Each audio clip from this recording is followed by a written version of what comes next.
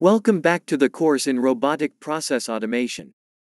I thought I'd do the testing with you just to make sure that you are comfortable with the process.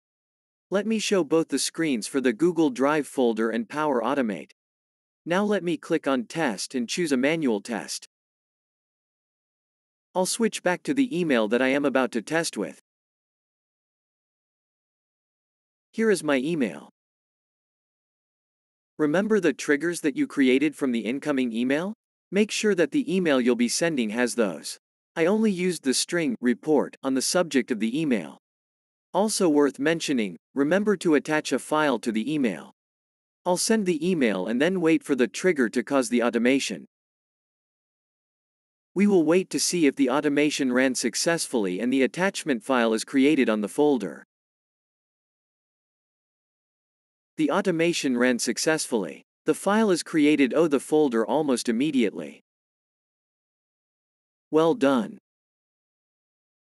This sums up the first part of this course which was on Power Automate Cloud Automations. See you on the next session which is on Power Automate Desktop. Cheers for now.